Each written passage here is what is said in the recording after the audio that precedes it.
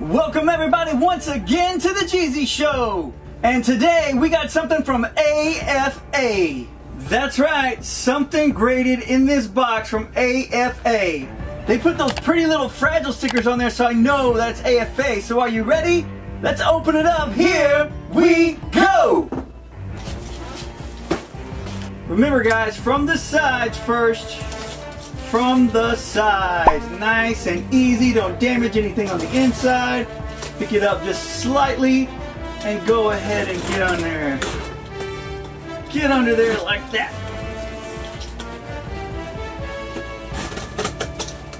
Here we go. Alright.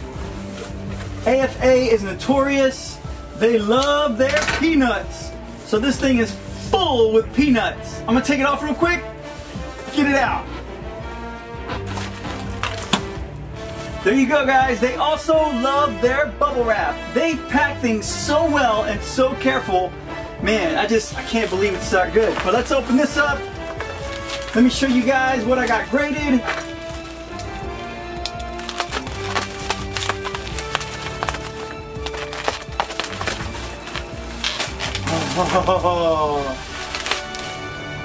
Oh. Oh. Bubble wrap. Check this out, guys. The Mando himself, the carbonized Mandalorian. This is the exclusive from Target, everybody. But there's something special about him. He is a 9, 9.0, you can see there at the top. Let me show you something. Check this out, guys. 2019 Hasbro Star Wars Black Series 6 inch The Mandalorian carbonized. But look at that other one. No weapons. Yes, he's archival 9.0. And check it out, guys.